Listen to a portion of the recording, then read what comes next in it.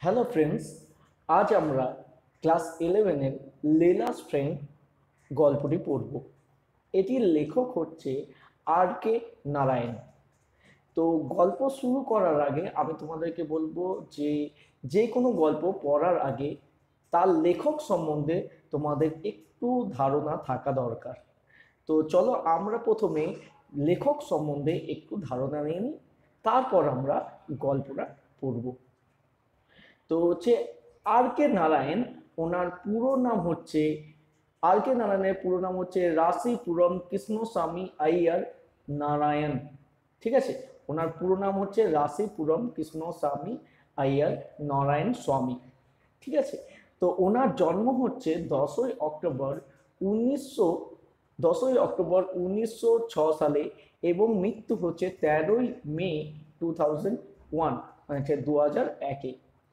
তার বেশিরভাগই গল্প মালগুড়ি মালগুড়ি নামে এক কল্পনা শহরে তৈরি করা। তো এই যে তুমি এখন ছবি দেখতে পাচ্ছ ইনি হচ্ছেন আর কে নারায়ণ।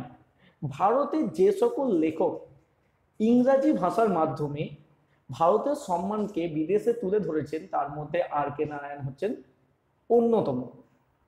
তো এই আর কে নারায়ণের পুরো নাম হচ্ছে রাশিপুরম কৃষ্ণস্বামী আইয়ার নারায়ণ স্বামী। ওনার জন্ম দশই অক্টোবর উনিশশো ছয় সালে মাদ্রাসে। যেটা ছিল ব্রিটিশ ভারত। তখন কিন্তু ভারত স্বাধীন হয়নি। তার জন্য ব্রিটিশ ভারতে তার জন্ম। এবং দু হাজার একে চুরানব্বই বছর বয়সের চেন্নাইয়ে ওনার মৃত্যু হচ্ছে। তো তিনি ছিলেন লেখক, একজন ভারতীয়। এবং তাকে কি কি সম্মান দেওয়া হয়েছে দেখো?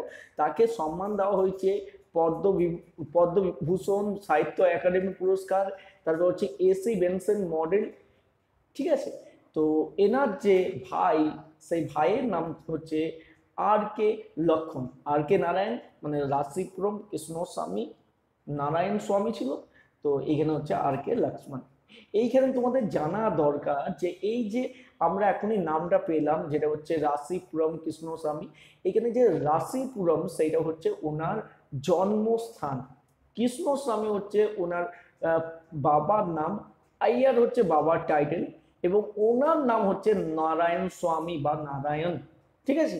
তো ওনার নাম হচ্ছে শুধু এইটুকু, আর বাকিরা হচ্ছে তার বাকিদের কাছ থেকে নেওয়া সম্পত্তি হিসাবে উত্তর অধিকারের যে পাওয়া সেই নাম। তো এইটা হচ্ছে আমাদের লেখকের সম্বন্ধে একটু পরিচিতি। তার বেশিরভাগই গল্প মালগুড়ি নামে এক কল্পনার শহরে তৈরি করা। মানে মালগুড়ি নামে তিনি এক কল্পনা শহর তৈরি করে নিয়েছিলেন, সেই শহরেই তার গল্প তৈরি হয়েছে বেশিরভাগই। তো তিনি সাহিত্য একাডেমি পুরস্কারও পেয়েছেন, তার দ্য গাইড নামে বইয়ের জন্য। তোমরা যদি সুযোগ পাও, আমি অবশ্যই তোমাদের রেকমেন্ড করব দ্য গাইডটা একবার পড়ে দেখতে পারো।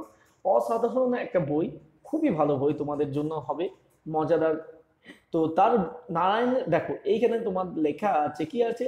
নারায়ণের গল্পগুলি অধিকাংশই পটভূমি হচ্ছে মালগুড়ি নামে কাল্পনিক শহর, ঠিক আছে? তো স্বামী অ্যান্ড এই প্রথম উল্লেখ পাওয়া যায় এবং পরে মালগুড়ি রেস নামে তার নিজস্বই একটা সংকলন বেরাতে থাকে। আমরা যে গল্পটা পড়ব, অর্থাৎ আমরা যেটা পড়ছি আজকে লীলাস ফ্রেন্ড আমরা যে গল্পটা পড়ছি লীলাস ফ্রেন্ড সেইটাও কিন্তু এই কল্পনা শহর থেকেই নেওয়া হয়েছে। তো চলো গল্পটা শুরু করা যাক। তার আগে একটু লেখকের যে পরিচিতি রয়েছে, সেই পরিচয় সম্বন্ধে আমরা একটু জেনে নিই। রাশিপুরম Krishnaswami Iyer Narayan Swami is one of the most widely read Indian writer in English মানে ভারতীয় যে সকল লেখকদের পড়া হয়, বই ইংরেজিতে, তার মধ্যে হচ্ছে অন্যতম জনপ্রিয় হচ্ছে না রাশিপুরম কৃষ্ণস্বামী আইয়ার নারায়ণ স্বামী।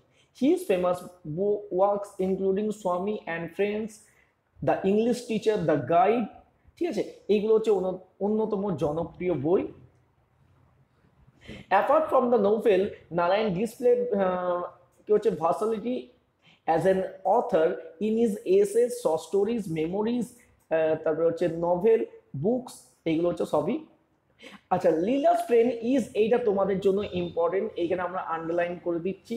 তো Lila's friend is taken from, is taken from. Nayan's popular short story collection, The Malgudi Days. ঠিক আছে? তো দ্য মালগুড়ি ডেজ হচ্ছে তার জনপ্রিয় গল্প যেখান থেকে নেওয়া হয়েছে। এই গল্পটি দ্য মালগুড়ি ডেজ আন্ডারলাইন করে রাখবে তোমরা। আচ্ছা এই পরে আমাদের গল্পে চলে আসাই ভালো। তো চলো গল্প শুরু করা যাক। দেখো Sita was hanging about the gate at a moment when Mr. Sipsankar was standing in front veranda of his house. Sita বাড়ির সামনে ঘোরাফেরা গেটের সামনে ঘোরাফেরা করছিল হ্যাঙ্গিং অ্যাবাউট মানে হচ্ছে কি? না এমলেসলি মুভিং সিদ্ধা বাড়ির সামনে ঘোরাফেরা করছিল এমন সময় যখন mister Shivshankar was standing in the front veranda যখন মিস্টার শিবশঙ্কর বাড়ির বারান্দায় দাঁড়িয়েছিলেন। Brooding over the servant problem এবং কি করছিলেন? বোর্ডিং ওভার বোর্ডিং ওভার মানে হচ্ছে ভাবনা, চিন্তা করা। তো তিনি ভাবনা, চিন্তা করছিলেন কি নিয়ে? না, সার্ভেন্ট প্রবলেম চাকর সমস্যা নিয়ে তিনি ভাবনা, চিন্তা করছিলেন। Sir do you want a servant Siddha আক্স সিদ্ধা জিজ্ঞাসা করল do you want a servant আপনার কি চাকর লাগবে? Come in said mister Shivshankar. Mister Shivshankar বলল ভেতরে এসো। As Siddha open the gate যখন সিদ্ধা কি করল? গেটটাকে খুললো অ্যান্ড কেম ইন এবং ভেতরে এলো। Mister Shivshankar subjected him to a scrutiny mister Shivshankar কি করল? তাকে একটা ভালো করে পর্যবেক্ষণ করে নিল। মাথায় রাখবে স্ক্রুটিনি মানে হচ্ছে ভালো করে দেখে নেওয়া। তো শিবশঙ্কর কি করলেন? ভালো করে পর্যবেক্ষণ করে নিলেন। অ্যান্ড সেড টু হিমসেলফ এবং নিজে নিজেকেই বললেন জোরে জোরে সিদ্ধাকে বলেননি, তিনি নিজে নিজেকেই বললেন don't seem to be a bad sort দেখে খারাপ মনে হচ্ছে না। সিম মানে হচ্ছে দেখা, মনে হওয়া সরি সিম মানে হচ্ছে মনে হওয়া। তো মনে হচ্ছে না খারাপ ছেলে। At any rate the fellow looks tidy যে কোনো দিক থেকে এই যে ছেলেটি, একে পরিষ্কার, পরিচ্ছন্নই মনে হচ্ছে। Where were you before he আক্স সে জিজ্ঞাসা করল। মানে সে মানে কে? না, আমাদের হচ্ছে শিব সিদ্ধা জিজ্ঞেস শিবশঙ্কর জিজ্ঞাসা করলেন হোয়ার ওয়ার ইউ বিফোর মানে তুমি আগে কোথায় ছিলে? Siddha said in a bungalow there and indicated a vague somewhere সে কি করল? বলে একটা বাংলোতে ওখানে দেয়ার মানে হচ্ছে ওখানে ওখানে এখানে বাংলোতে এবং অনির্দিষ্টভাবে মানে একবার নির্দিষ্ট হবে নয় আনসার্টেন ভাবে এখানে কোনো একদিকে দেখিয়ে দিল ইন এ ডক্টরস হাউস ডাক্তারের বাড়িতে। তাহলে তোমাদের এইবারে হচ্ছে প্রশ্ন হচ্ছে যে সে কোথায় মানে কোথায় কাজ করতো? Where did he work before না ইন এ ডক্টরস হাউস একটা ডাক্তারের বাড়িতে। হোয়াট ইজ হিজ নেম তার নামটা কি? আই ডোন্ট নো মাস্টার প্রভু, আমি জানি না। সিদ্ধা সেন, সিদ্ধা বলল। সিদ্ধা বলল, আমি জানি না। He lives near the market সে শহরের কাছে বাস করে। Why did they send you away তারা তোমাকে তাড়িয়ে দিল কেন? দে লেভ দ্য টাউন মাস্টার তারা শহর ছেড়ে চলে গেছে, প্রভু। Siddha said giving a stock reply Gita মানে সিদ্ধা উত্তর দিল, যেন আগে থেকে মজুত করা উত্তর। স্টক রিপ্লাই দেখা শব্দ আছে না? স্টক রিপ্লাই স্টক রিপ্লাই মানে কি? স্টক মানে কি? মজুত করা। ধরো না তোমার একটা ঘর আছে, সেই ঘরের মধ্যে তুমি কি করছ না, কোনো কিছু মজুত করে রাখছো সেইটা হচ্ছে স্টক করে রাখা। তো স্টক রিপ্লাই মানে আগে থেকে যেন ও জানে যেন তাকে এই প্রশ্ন করা হবে, সেই জন্য ও কি করল? আগে থেকে তৈরি করা একখানা উত্তর দিয়ে দিল। Mister Shivshankar was unable to make up his mind mister Shivshankar কি করছিলেন? তার মনটাকে স্থির করতে পারছিলেন না, তিনি ডিসাইড করতে পারছিলেন না। মেকআপ মানে হচ্ছে কোনো কিছু ডিসাইড মানে মনস্থির করা বা কিছু বুঝতে পারা। তো তিনি কি করলেন? হি কল্ড হিজ ওয়াইফ তিনি তার স্ত্রীকে ডাকলেন।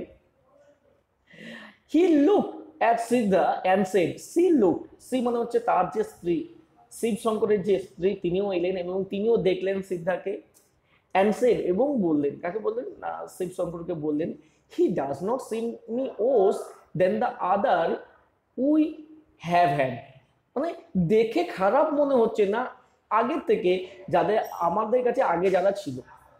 মানে আগে আমাদের কাছে যারা ছিল, তাদের তুলনায় দেখে খারাপ মনে হচ্ছে না। তারপরের পাতায় দেখো, Leela five their five year old daughter came out Leela তাদের পাঁচ বছর বয়সী মেয়ে বেরিয়ে এলো। লুক অ্যাট সিদ্ধার্থ সিদ্ধার্থ দিকে তাকালো and give a cry of joy এবং আনন্দে চিৎকার করে বলল, ও ফাদার সি সেড সে বলল সে বলল কি? সে বলল, ও বাবা আই লাইক হিম আমার একে পছন্দ হয়েছে। অ্যাকচুয়ালি হিমের মাঝে দেখো একটা গ্যাপ পড়ে গিয়েছে তোমাদের টেক্সট বইয়ে। তো আই লাইক হিম আমার একে পছন্দ হয়েছে don't send send him away একে তাড়িয়ে দিও না। মানে আমার একে পছন্দ হয়েছে, একে তাড়িয়ে দিও না। Let us keep him in our house চলো একে রেখে দিই আমাদের বাড়িতে? অ্যান্ড দ্যাট ডিসাইডেড ইট এবং এটাই মনস্থির করে দিল। দ্যাট ডিসাইডেড ইট এবারে অনেক সময় কোশ্চেন আসে যে কে ডিসাইড করল Siddharth employment who decided Siddharth employment K decide করেছিল সিদ্ধার্থ এমপ্লয়মেন্ট তো উত্তর হবে কি? লীলা ডিসাইড করেছিল সিদ্ধার্থ এমপ্লয়মেন্ট ওকে আচ্ছা আবার একটা প্রশ্ন আছে যেটা হচ্ছে হাউ ওল্ড ওয়াজ লীলা লীলা কত বছর বয়স ছিল? তো লীলার উত্তর, তোমাদের উত্তর হওয়া উচিত। Leela was five years old okay তো আমরা শুধুমাত্র টেক্সটাকেই বাংলা বলব না তোমাদেরকে। তার সঙ্গে সঙ্গে আমি চেষ্টা করব তোমাদের সেই সকল কোশ্চেনগুলোকে আলোচনা করার, যেগুলো তোমাদের এক্সামে আসে বা মোস্ট ইম্পর্টেন্ট তোমাদের এক্সামের জন্য। তো সেইগুলোকেও বারবার ফলো করো যাতে কি হয়, তোমাদেরই ইমপ্রুভ হয়।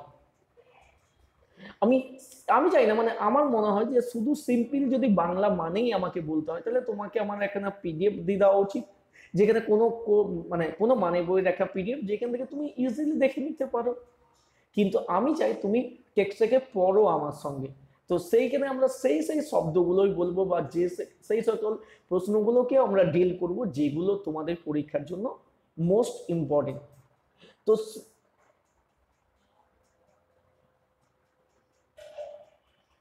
আচ্ছা।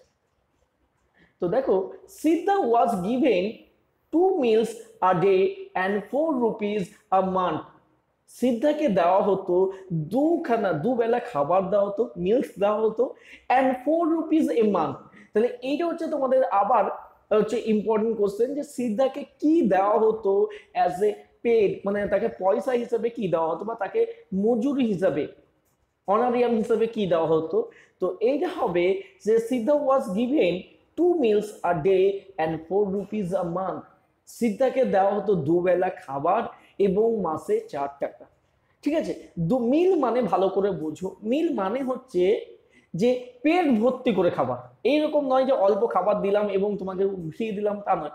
পেট ভর্তি করে খাবার দেওয়া হতো এবং তার সঙ্গে সঙ্গে মাসে চার টাকা দেওয়া হতো। In return for which he was cloth যার পরিবর্তে ইন রিটার্ন মানে হচ্ছে এর পরিবর্তে কি করতো? ও জামা কাপড় কাচতো।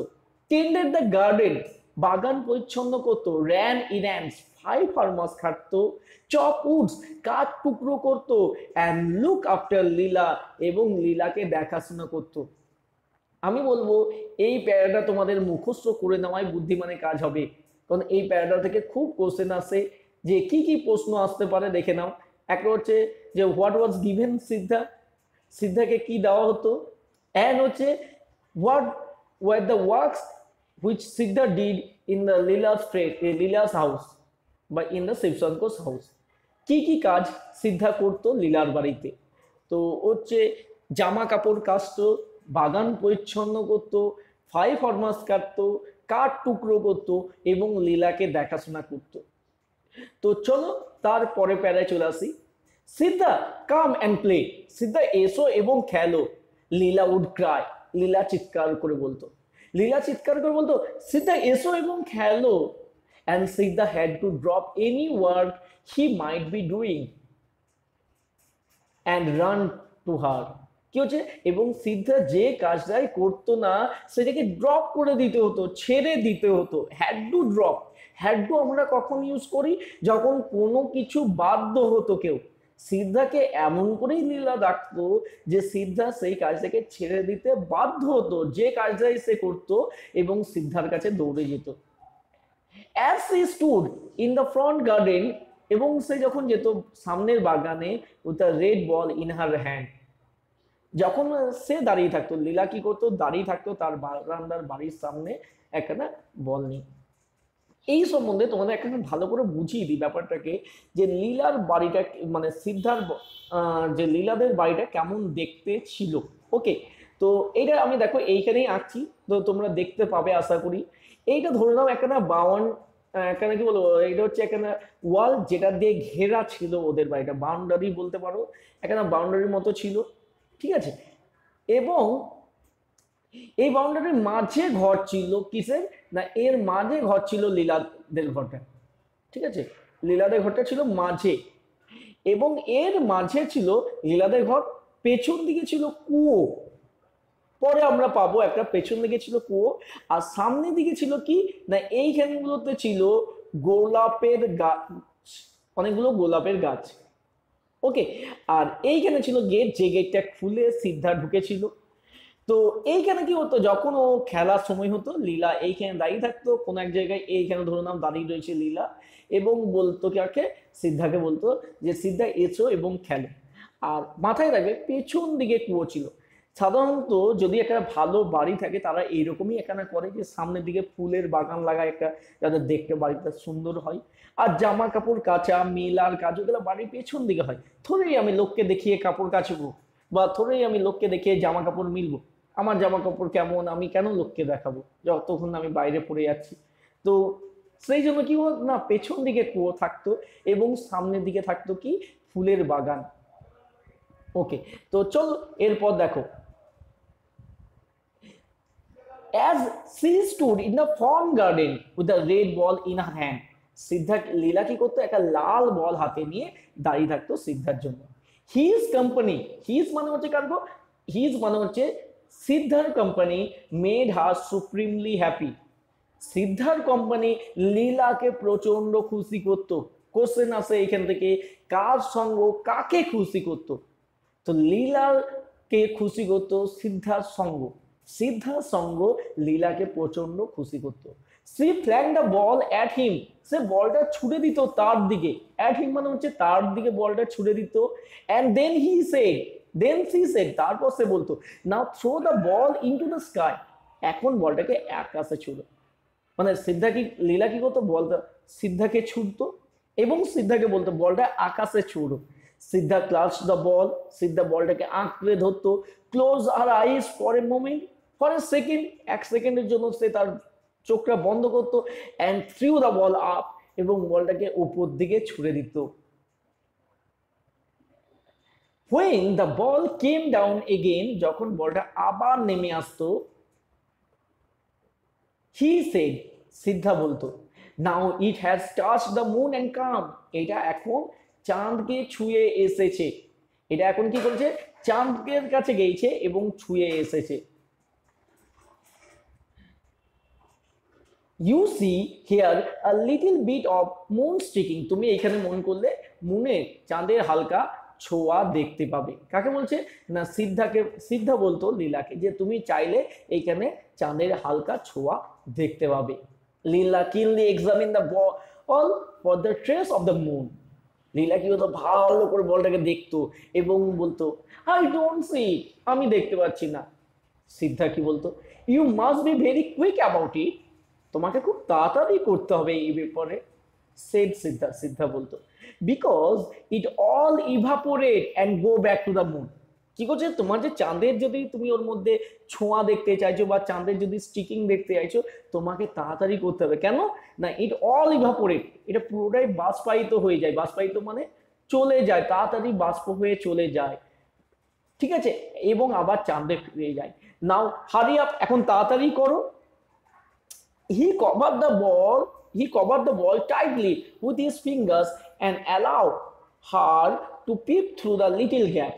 কি করতো? এইখানে একটা বোঝো ব্যাপারটা।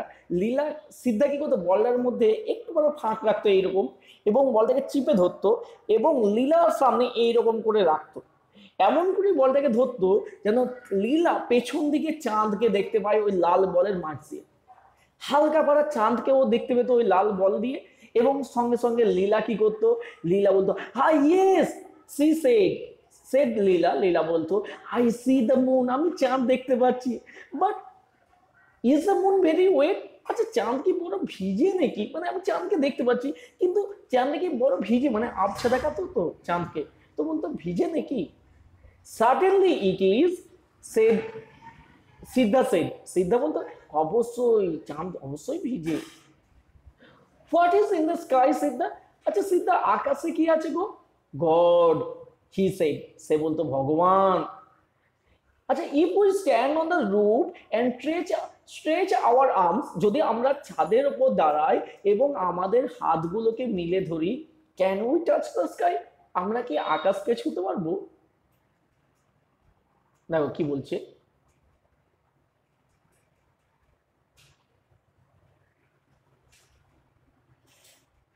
কি বলল? দেখো একবার লাস্ট লাইনটা একবার করছে repeat if we stand on the roof যদি আমরা ছাদের উপর দাঁড়াই অ্যান্ড স্ট্রেচ আওয়ার আর্মস এবং আমাদের হাতগুলোকে আমাদের হাতগুলোকে মেলে ধরি can we touch the sky মানে আমি যদি হাতটাকে মেলে ধরি, আমরা কি চাঁদ can we touch the sky আমরা কি আকাশকে ছুতে পাবো not if you stand on the roof here না, এইখানে ছাদে দাঁড়ালে হবে না। But if you stand on a coconut tree you can touch the sky কিন্তু তুমি যদি নারকেল গাছে দাঁড়াও, তুমি কিন্তু একটা নারকেল গাছে দাঁড়ালে তবে চাঁদকে ছুতে পারবে। আচ্ছা তাহলে এইখানে কোশ্চেনটা আছে যে অ্যাকর্ডিং টু সিদ্ধা অ্যাকর্ডিং দাঁড়াও, এক minute according to Siddha where can from where we can touch the sky. According to siddha সিদ্ধার মতে from where we can touch the sky. আমরা কোন জায়গা থেকে আকাশকে ছুতে পারি? তো উত্তর হচ্ছে যে from the coconut tree on the coconut tree আচ্ছা হ্যাভ ইউ ডান ইট আক্স লীলা লীলা জিজ্ঞাসা করল, তুমি কি করেছ? মেনি টাইমস অনেকবার। সিদ্ধা কি করছে? একটু বড়াই করছে, একটু মানে বাড়ি বাড়ি বলে ফেলছে যে হ্যাঁ অনেকবার হোয়েন এবার there is a big moon যখনই বড় চাঁদ হয়, বড় চাঁদ কখন হয়? অ্যাকচুয়ালি এখানে পূর্ণিমার কথা বলা হচ্ছে। তো যখনই বড় চাঁদ হয় I climb the coconut tree I climb a coconut tree hand touch it আমি কি করে একটা নারকেল গাছে চাপি? এবং ওটাকে ছুঁয়ে দিই, চাঁদকে ছুঁয়ে দিই। Does the moon know you আচ্ছা চাঁদ কি তোমাকে চেনে? ইয়েস ভেরি ওয়েল হ্যাঁ খুব ভালোভাবে চেনে now come with me I will show you something nice চলো, এখন আমার সঙ্গে এসো এবং আমি তোমাকে কিছু মজার জিনিস দেখাচ্ছি। They were standing near the rose plant তারা দাঁড়িয়েছিল গোলাপ গাছের সামনে। আমি তোমাদেরকে বুঝিয়েছিলাম গোলাপ গাছ কোথায় ছিল। গোলাপ গাছ বাড়ির বারান্দার সামনে ছিল। হি পয়েন্টেড সে বলল পয়েন্টিং দেখিয়ে। হি সেড পয়েন্টিং সে দেখিয়ে বলল you see the moon there don't you তুমি ওইখানে চাঁদকে দেখতে পাচ্ছ পাচ্ছ না? ইয়েস হ্যাঁ। নাও কাম উইথ মি এখন আমার সঙ্গে এসো। সি হি সেড সেইটা বলল, এখন আমার সঙ্গে এসো। And took her to the backyard এবং সে কি করল ব্যাকইয়ার্ডে পেছন দিকের যে বাগান সেখানে নিয়ে গেল। এটা ছিল ফ্রন্ট গার্ডেন এটা ছিল backyard he stop near the well সে কুয়োর কাছে দাঁড়াল। আমি তোমাদেরকে কোপ দেখিয়েছিলাম। নিয়ার দ্য ওয়েল কুয়োর কাছে দেখ, দাঁড়াল অ্যান্ড পয়েন্টেড আপ এবং ওপর দিকে ইঙ্গিত করল। দ্য মুন ওয়াজ দেয়ার চাঁদ সেখানেই ছিল। Leela clap her hand and scream in wonder Leela কি করল? হাততালি মারলো এবং আনন্দে চিৎকার করে উঠল। অবাক হয়ে চিৎকার করে উঠল। The moon here it was there how is it চাঁদ এখানে আছে, ওটা ছিল, ওখানে ছিল তো এখনই। মানে বারান্দার সামনে থেকে চাঁদকে দেখতে পাচ্ছিলাম, আমরা এখানে এসেও চাঁদকে দেখতে পেলাম। কি করে হলো এটা? আই আক্সি টু ফলো আস অ্যাবাউট আমি এটাকে বলেছি, আমাদেরকে অনুসরণ করতে। মানে চাঁদকে তো আমি চিনি, তো চাঁদকে আমি বলেছি, আমাদেরকে অনুসরণ করতে। এইখানে কেন মাথায় রাখবে যে, এই যে লীলাকে সিদ্ধা মিথ্যা কথা বলছে, এটাকে ঠিক করছে অনেকে প্রশ্ন হবে যে না, একে সিদ্ধা বোকা বানাচ্ছে, ওর যে ইনোসেন্স ওর যে সরলতা, তার সুযোগ নিচ্ছে। অ্যাকচুয়ালি তা নয়। এটা কি হচ্ছে? ওর ইমাজিনেশনকে একটু উইংস দিচ্ছে, বাতাস দিচ্ছে, ওর কল্পনাকে একটু বাড়িয়ে তুলছে। ভালো করে ভেবে দেখো, যখন আমরা ছোট ছিলাম, তখন আমাদের পরীদের গল্প শুনতে ভালো লাগতো, জঙ্গলের ভাল্লুকদের গল্প শুনতে ভালো লাগতো। কখনো কোনো ভাল্লুকরা ন্যায়ের কথা বলতো, সিংহ ন্যায়ের কথা বলতো। কিন্তু আদৌ কি এরা এরকম, তারা কি আদৌ কখনো কথা বলে? ছোটবেলায় কি হয়েছে না, আমাদের কল্পনা শক্তি বাড়াবার জন্যই কিন্তু এইগুলো করা হয়েছে। মাথায় রাখবে, যার যত কল্পনা শক্তি প্রবণ, যার যত কল্পনা শক্তি জীবন্ত, সেই তত জীবনকে উপভোগ করতে পারে। দেখো, একটা সায়েন্টিস্ট কখনো কল্পনা না করলে কোনো কিছু আবিষ্কার করতে পারতো না। একটা লেখক কল্পনা না করলে কখনো কোনো গল্প লিখতে পারতো না। তাহলে কল্পনা খুবই দরকার যে কোনো মানুষের জন্য। তাহলে এইখানে হচ্ছে I আক্স me to follow us about আমি এটাকে বলেছি, এটা মানে কি? চাঁদকে বলেছি যে আমাদেরকে অনুসরণ করতে। Leela ran in and told her mother Leela কি করতো? র্যান ইন দৌড়ে গেল এবং তার মাকে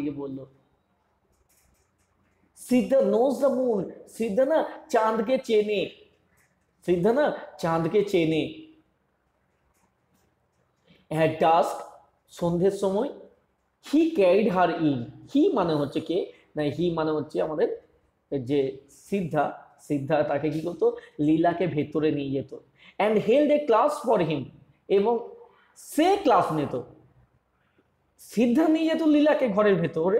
কিন্তু লীলা ক্লাস নিত Siddha she had a box filled with catalogues illustrated books and stumps of pencils তার কাছে ছিল একটা বাক্স লীলার কাছে একটা বাক্স ছিল, যেটা কি ছিল? পূর্ণ ছিল ক্যাটালগে ক্যাটালগ মানে হচ্ছে চিত্র তালিকা ইলাস্ট্রেটেড বুকস মানে হচ্ছে ব্যাখ্যামূলক বই, এবং স্টাম্পস অফ পেন্সিল এবং একগুচ্ছ পেন্সিল মানে কি? সেই আমাদের থাকে না এ ফর অ্যাপেল নিয়ে একটা এ লেখা থাকে, তারপরে অ্যাপেল লেখা থাকে, তারপরে এক না আপেলের ছবি থাকে। ওইটা হচ্ছে ক্যাটালগ ইলাস্ট্রেটেড বুকস মানে এ ফর অ্যাপেল বা আয়ে আমটি খাব পেরে, এইগুলো হচ্ছে ব্যাখ্যামূলক বই বলতে পারো। এবং স্টাম্পস অফ পেন্সিল একগুচ্ছ পেন্সিল ছিল। It gave great joy to play the teacher to Siddha এটা তাকে প্রচণ্ড আনন্দ দিত মানে লীলাকে প্রচণ্ড আনন্দ দিত সিদ্ধা সিদ্ধার শিক্ষক হওয়া। She made him squat on the floor তাকে সে ভালো করে বসাতো মেঝেতে। With a pencil between his finger আঙ্গুলের মাঝে পেন্সিল দিত। And a catalogue in front of him তাই কি করতো? না, এবং একটা ক্যাটালগ দিত তার সামনে। ক্যাটালগ মানে চিত্র তালিকা। কি করতো? পেন্সিল দিত। পেন্সিল দিয়ে বলতো ক্যাটালগ দিয়ে বলতো। নাও রাইট এখন লেখো। কমেন্টেড আদেশ করতো কমেন্ট করতো, এখন লেখো। And he had to try to copy whatever she wrote in the pages of her catalogue এবং তাকে নকল করতে হতো, লীলাকে নকল, সিদ্ধাকে নকল করতে হতো, যা লীলা লিখতো তার ক্যাটালগে he had to try and copy তাকে চেষ্টা করতে হতো মানে সিদ্ধাকে চেষ্টা করতে হতো এবং নকল করতে হতো যা লীলা লিখতো তার ক্যাটালগের মধ্যে। She knew two or three letters মানে ও লীলা তো বাচ্চা মেয়ে, পাঁচ বছরের মেয়ে, ও সব জানতো না। কিন্তু ও জানতো দু তিনখানা অক্ষর two or three letters of the alphabet বর্ণমালার and could draw a kind of a kind of cat and crow এক ধরনের কাক ও বিড়াল আঁকতে পারতো। তাহলে কি হচ্ছে? লীলা সব কিছু পারতো না, কিন্তু লীলা পারতো ওই এক ধরনের ক্যাট অ্যান্ড ক্রো মানে এক ধরনের কাক ও বিড়াল আঁকতে পারতো সে। But none of this could Siddha even remotely copy কিন্তু কোনো কিছু সিদ্ধা খুব নক বাজেভাবেও নকল করতে পারতো না। She said examining his effort সে বলতো, তার প্রচেষ্টাকে দেখে। Is this how I have drawn the crow এইভাবে কি আমি ক্রো এঁকেছি? Is this how I have drawn B এইভাবে কি আমি বি এঁকেছি? সি পিটেড হিম তার উপর করুণা হতো। অ্যান্ড রিডাবল হার রিপোর্ট এবং তার যে প্রচেষ্টা সেটা দ্বিগুণ করে দিত টু টিচিং তাকে শেখাবার জন্য। That good fellow though an adept at controlling the moon যদিও এই ভালো ছেলেটি যে চাঁদকে কন্ট্রোল করতে পারে, চাঁদকে নিয়ন্ত্রণ করতে পারে was utterly incom incapable of plying with pencil সে কিন্তু পেন্সিল চালনা করতে ব্যর্থ। মানে যে লোকটা চাঁদকে চালনা করতে পারে, সে কিন্তু পেন্সিল চালাতে ব্যর্থ।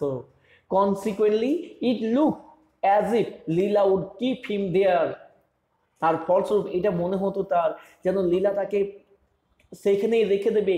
Pin to his seat until his strip strip inflexible wrists crack তার মনে হতো মানে সিদ্ধার মনে হতো, যেন তাকে ওইখানেই লীলা রেখে দেবে, তার জায়গার সঙ্গে তাকে গেঁথে দেবে যতক্ষণ না তার স্টিপ স্টিপ মানে হচ্ছে শক্ত ইনফ্লেক্সিবল মানে হচ্ছে অনমনীয়।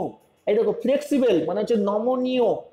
ইনফ্লেক্সিবল মানে হচ্ছে অনমনীয় কবজি ভেঙে যায় ক্র্যাক করে না যায়, ততক্ষণ ওকে হয়তো রেখে দেবে।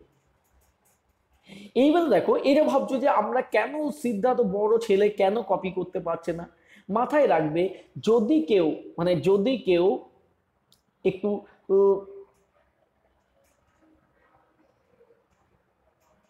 মাথায় রাখবে, যদি কেউ পড়াশোনা করে, তার পক্ষে কিন্তু কখনোই কখনোই লেখাপড়া মানে লেখা কোনো অসুবিধা নাই কিন্তু যে কখনো কোনো দিন লেখাপড়া করেনি, যে ছেলে কখনো কোনো কোনোদিন লেখাপড়া করেনি, তাকে যদি বলা হয় লিখতে, এ লিখতে, বি লিখতে, সি লিখতে, সে কিন্তু লিখতে পারে না চট করে। তার হাতগুলোতে ব্যথা হয়, তার মনে হয় যেন এগুলো ভেঙে যাচ্ছে। ইভেন তুমিও যদি এক বছর, দেড় বছর লেখাপড়া বন্ধ করে দাও, তোমার লেখা যদি অভ্যাস না থাকে, যখন তোমাকে লিখতে দেবে এক বছর পর, তোমার হাতে ব্যথা করবে। তো এই রকমই হলো সিদ্ধার ক্ষেত্রে। সিদ্ধার মনে হলো যেন তার অনমনীয় কবজি ভেঙে যতক্ষণ না যাবে, ততক্ষণ তাকে হয়তো তার আসনে তাকে বন্দি করে রেখে দেবে।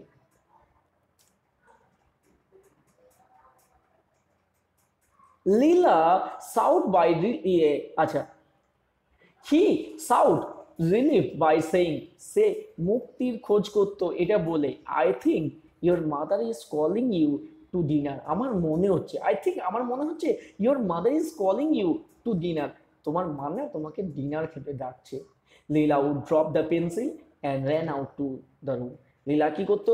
পেন্সিল রেখে দিত এবং খাবার নাম শুনে দৌড়ে যেত। And the school hour would end এবং স্কুলের যে সময়, সেটা শেষ হতো। এইখান থেকে এই যে প্যারা, এই প্যারা মোস্ট ইম্পর্টেন্ট তোমাদের জন্য, যে কেন না কীরকম করে লীলা লীলা সিদ্ধার এডুকেশন চালিয়ে যেত ব্রড কোশ্চেন হিসেবে ইম্পর্টেন্ট কিন্তু তার থেকে বেশি ইম্পর্টেন্ট শর্ট কোশ্চেন হিসেবে যেখানে কোশ্চেন আসতে পারে, কি কোশ্চেন আসতে পারে? যে which is the letter what is the letter বা which letter Leela definitely knew কোন লেটারটা লীলা নিশ্চিতভাবে জানতো? উত্তর হচ্ছে বি বি কিন্তু লীলা নিশ্চিতভাবে জানতো। এবং তার সঙ্গে আর একটা কোশ্চেন আছে যে লীলা কোন অক্ষরটাকে মানে কোন ছবি আঁকতে পারত? ক্যাট অ্যান্ড ক্রো মাথায় রাখবে। A kind of cat and crow দেখো এখানে অ্যাকচুয়ালি ইয়ে যাচ্ছে। তো ক্যাট অ্যান্ড ক্রো এইটা সিওর আঁকতে পারত। ঠিক আছে? তো এইগুলো হচ্ছে কোশ্চেন দেখো ক্যাট অ্যান্ড ক্রো তো এই ক্যাট অ্যান্ড ক্রো আঁকতে পারতো এবং বি নিশ্চিতভাবে পারতো। আমি কিন্তু কখনোই বলছি না যে কোনটা পারতো বা এ পারতো বা সি পারতো, সেটা না কিন্তু নিশ্চিতভাবে কোনটা পারতো বি নিশ্চিতভাবে পারতো। কারণ is this how I have drawn B এইভাবে কি আমি বি এঁকেছি? তো এই জন্য হবে বি হচ্ছে correct answer after dinner Leela ran to her bed ডিনারের পর, রাতের খাবারের পর হচ্ছে যে নৈশভোজ, তারপর লীলা কি করতো? দৌড়ে যেত তার বিছানায়। Siddha had to be ready with a story এবং সিদ্ধাকে তৈরি থাকতে হতো একটা গল্প নিয়ে।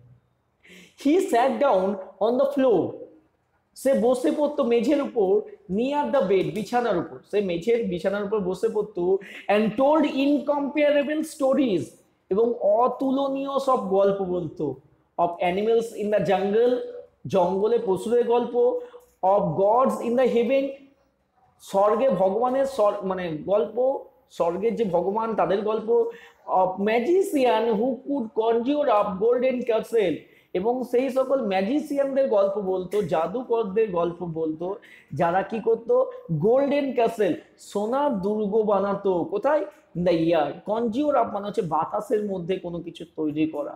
তো সোনার দুর্গ তৈরি করতো and fill they with princess and their pets এবং প্রিন্সেস ও পেট দিয়ে ভর্তি করতো। তাহলে এইখান থেকেও আবার কিছু কোশ্চেন আসছে যে এই কোশ্চেনগুলো খুব ইম্পর্টেন্ট তো এই কোশ্চেনটা হচ্ছে যে লীলা বিছানায় দৌড়ে যেত বিছানায়। কোথাকার বিছানায়? সিদ্ধার বিছানায় দৌড় মানে তার বিছানায় ঘুমাবার জন্য যেত এবং সিদ্ধাকে একটি গল্প নিয়ে তৈরি থাকতে হতো। যেই ও মানে ও কোথায় বসতো? ও মেঝেতে বসতো, লীলা উপরে বসতো, সিদ্ধা মেঝেতে বসতো এবং তারপরে সিদ্ধাকে, লীলাকে অতুলনীয় সব গল্প বলতে হতো। কিসের গল্প বলতো? না, এইখানে ইম্পর্টেন্ট হচ্ছে যে কি কি গল্প সে বলতো। তো ইম্পর্টেন্ট কোশ্চেনটার জন্য দাগ দিয়ে রাখো এখানে তোমরা। কিসের? না of animals in the jungle of animals in the jungle of gods in the heaven, of magician who could conjure up golden castle and fill them with a little princess and their pets. ঠিক আছে তো কিসের গল্প তোমাদেরকে বলা হলো তো day by day দিনের পর দিন she clung closer to him দিনের পর দিন সে মানে সে মানে কে না আমাদের এদিকে হচ্ছে সিদ্ধা লীলা লীলা লীলা কি হলো জড়িয়ে পড়তে লাগল সিদ্ধার প্রতি সে insisted upon having his company all her waking hour সে জোর দিত তার সমস্ত সময় মানে যে সময়টা সে জেগে থাকবে, সেই সময়টা তাকে খুঁজতো। She was in his side when he was working on in the garden সে কি করতো? সে লীলা, সিদ্ধা যখন কাজ করতো, লীলা তার পাশেই বসে থাকতো।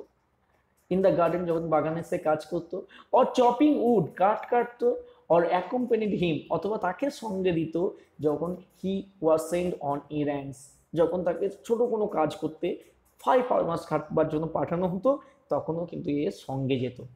মানে কি? লীলা সিদ্ধার প্রতি আড়ষ্ট হয়ে পড়েছিল। ধীরে ধীরে ও এত কাছে মানে সিদ্ধা যেখানে যেত, লীলাও সেখানেই যাবে। লীলা সিদ্ধা যেখানে যা করবে, লীলাও তাই করবে। এই রকম করে ক্লোজ হয়ে পড়তে লাগল। ঠিক আছে? আড়ষ্ট হয়ে পড়তে লাগল। দিনের পর দিন কিন্তু ক্লোজ হয়ে পড়তে লাগল হ্যাঁ? তো এটা হচ্ছে তোমাদের যেটা হচ্ছে যে একে যখন সিদ্ধা বাগানে কাজ করতো অথবা কাঠ কাটতো অথবা ফাইভ ফরমাস করতে যেত, লীলাও সঙ্গে যেত। ফাইভ ফরমাস কোনটাকে বলে? ধরে নাও চা করছে কেউ এবং চা করতে গিয়ে চিনি শেষ হয়ে গেল, দেখা যাচ্ছে। একটু চিনি কম, যাতে একটু বাজার থেকে চিনি নিয়ে আসা সঙ্গে সঙ্গে সিদ্ধা দৌড়ে যেত চিনি আনতে। এই সব কাজকর্মকে বলা হতো ফাইভ ফার্মাস তো আজকে আমরা ভিডিওটা এইখানেই স্টপ করছি, কারণ এর থেকে বেশি করলে অনেক লেন্দি হয়ে যাবে ভিডিওটা এবং সেটা বোরিং হয়ে যাবে। তো this is the part one of Leela's friend আর একটা আছে পার্ট হবে পার্ট টু হবে লীলাস ফ্রেন্ডের তো সেইখানে আমরা বাকি অংশটুকু আলোচনা করব। তো ততক্ষণ আমি বলব তোমাদেরকে এই পার্টটাকে ভালো করে দেখো যে যে জায়গা আমি তোমাদেরকে কোশ্চেনগুলোকে বলেছি ইম্পর্টেন্ট সেগুলোকে টিক মারো বা দাগ দিয়ে রাখো এবং তোমার যদি কোনো প্রশ্ন থাকে অবশ্যই আমাকে কমেন্টে জানাও এবং আমি চেষ্টা করব তোমাদের কমেন্টের উত্তর দেওয়ার, ঠিক আছে? তো আর তোমাদেরকে কি বলব? এরপর হচ্ছে আমার চ্যানেল যদি এখনও পর্যন্ত সাবস্ক্রাইব না করেছ, তো অবশ্যই সাবস্ক্রাইব করো এবং এই ভিডিওটা তোমার কেমন লাগছে সেটা তুমি অবশ্যই আমাকে কমেন্টে জানাও। ভালো লাগলে লাইক করো। যদি খারাপ লাগল, অবশ্যই ডিসলাইক করবে। কিন্তু প্লিজ একটা রিকোয়েস্ট যে ডিসলাইকটা কেন করছ সেটা আমাকে জানাবে। যাতে আমি কি করি তা আমার পরের যে ভিডিও সেই ভিডিওতে ওই যে মিস্টেক আমি করব, যার জন্য তুমি ডিসলাইক করলে, সেটাকে আমি সরিয়ে দেওয়ার চেষ্টা করব। তা আজ এই পর্যন্তই। দেখাবে পরের ভিডিওতে ততক্ষণ ভালো থাকো। সাবধানে থাকো সুস্থ থাকো।